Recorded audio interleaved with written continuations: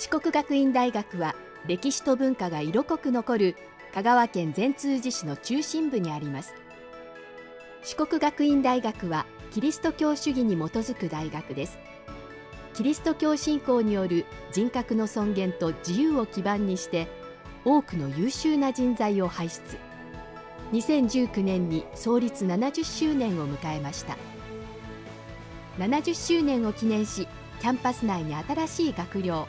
マグノリア学寮とアトリウムコイノスが竣工します。四国学院大学ならではの学びのシステムがメジャー制度。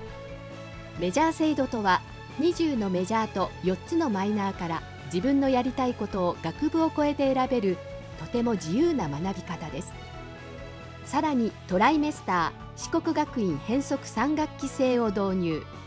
学びの充実とキャンパスライフをより豊かにしてくれます。学びの基本は教育理念でもあるリベラルアーツにあります。多様な世界に自分を解き放ち現代社会を自分らしく自由に生きる教養を身につけられます。